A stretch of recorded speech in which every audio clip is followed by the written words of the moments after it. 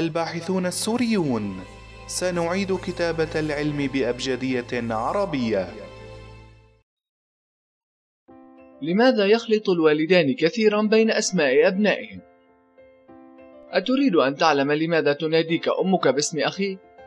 أتريد أن تعلم لماذا يخلط الوالدان كثيرا بين أسماء أبنائهم وكثيرا من الأشياء من حولهم أحيانا كحيوانات يربونها في المنزل؟ إليك هذا المقال الشيق الذي سيجيب عن كل هذه التساؤلات التي في بالك.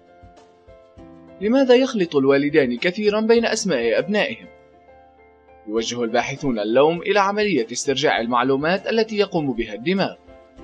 ورد يوم السبت في الثامن عشر من كانون الثاني عام 2014 دراسة جديدة تقول في أغلب الأوقات يخلط الوالدان بين أسماء أبنائهم حين تتشابه بين بعضها البعض عرض الباحثون استبيانات على 334 شخصا لديهم شقيق واحد أو أكثر.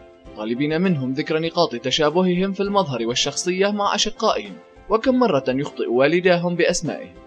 وعلى ذلك ذكر الأشخاص الذين تشاركوا بالأصوات الاستهلالية مثل جيمي أو جاسون أو النهائية مثل أماندا وساماندا مع اسم شقيقهم أن والديهم كانوا ينادوهم بالاسم الخاطئ أكثر من غيرهم ممن لا تتداخل الأصوات بأسمائهم.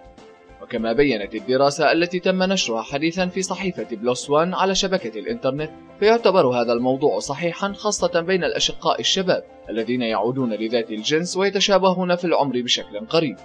قال بعض المشاركين أنهم كانوا يدعون بأسماء غيرهم من أفراد العائلة بينما كان الآخرون يدعون باسم حيوان مدلل عند أهلهم.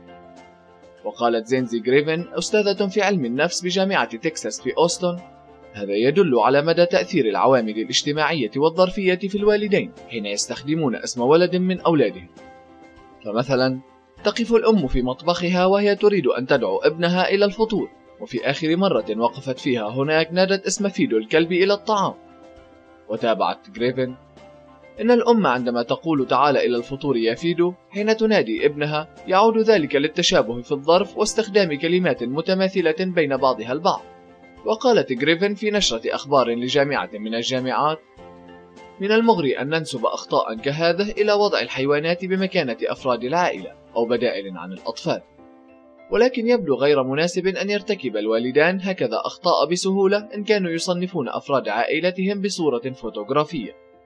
وتظهر نتائج هذه الدراسة أنه حين يخلط الأبوان بأسماء أبنائهم ذلك بسبب ثغرة في عملية استرجاع المعلومات التي تجري في الدماغ. فليس هناك داع للقلق لذلك. وقالت جريفن بسبب ازدياد الخلط بالأسماء بعوامل كالتشابه في الاسم أو في الجسم فيجب ألا يتم النظر إليه وعزوها إلى عالم النفس فرويد ولا أن يتم التعبير عنه بتفضيل أحد الأبناء على الآخر أو بمعنى آخر من الأفضل ألا يفسر الناس الأخطاء كثيرا.